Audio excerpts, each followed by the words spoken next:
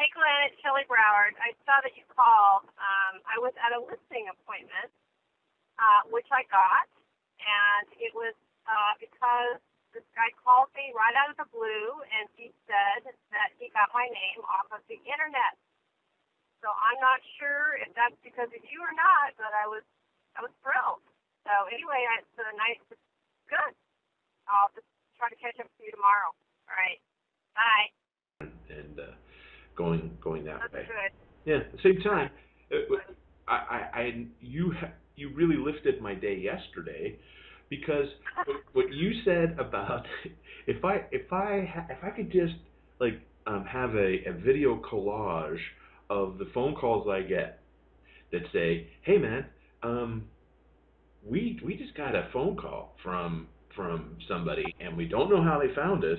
And, and so you know, in the past, I used to say, well, you know, um, and I have I have clients that their top like I have, I have a lady that that does um, ninety million dollars worth of business, and but but she never got business off the internet per se. And so so what happened is that you know we showed on Zillow and Trulia, uh, like her her leads were nothing; they were zero, like maybe one or two people, you know, every couple of months.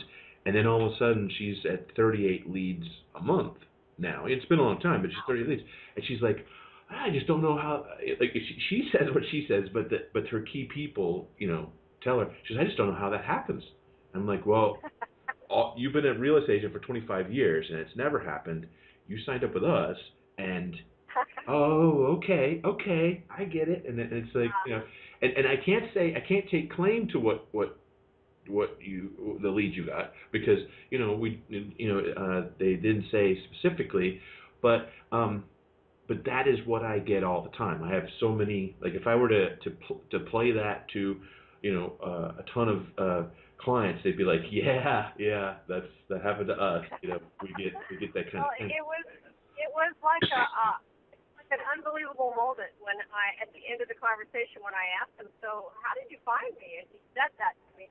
You're you're all over the internet. I was like, oh my god. I just couldn't. I just thought of you right away, and I just thought, oh my god, I can't wait to tell him this. Yeah, yeah. You know, I, I have no idea, you know, where where I am all over the internet. Because if I type myself in, or if I type Franklin Real Estate, I don't pop up. But he obviously saw me, so Right. you know, I'm not sure how it happened, but I got the listing last night, four hundred and fifty thousand dollar listing, and you know, I never get listings, Glenn, so that's why, you know, I'm I was I was really encouraged.